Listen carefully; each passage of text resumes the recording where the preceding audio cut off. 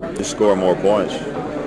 Any way to do that? Will there be more passing, more running? Oh, that we don't know. It depends on the game plan that the coaches come up with. Uh, if they think we should stress passing, then we will stress passing. And then again, on a given done the day uh, that we play, depending on how the defense is playing against us. You know, if they give us the pass, we'll take it. If they give us a run, we'll take that. Dallas has complicated defenses, don't they? Not that much. They strictly a 4-3 defense, uh, very little blitzing, and they play a combination uh, secondary.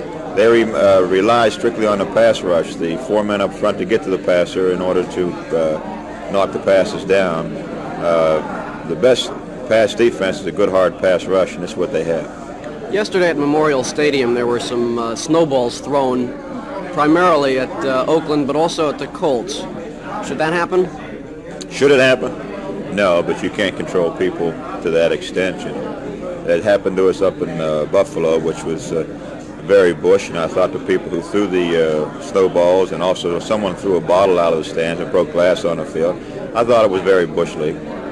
What can be done to control that, and, and also what can be done to bring fans back? You didn't have a full house yesterday. Well, I don't have the slightest idea about that. I guess the television had something to do with it. What can be done to, to, to control the snowball throwing? I don't see anything you, you can do, really, except uh, uh, maybe tell them they're going to get arrested if they do it, which is ridiculous because you know everyone likes to throw snowballs, and uh, with 80, 60, 80,000 people in the stands, you can't control everybody. I guess you're dressed for it anyway. yes, all right with me.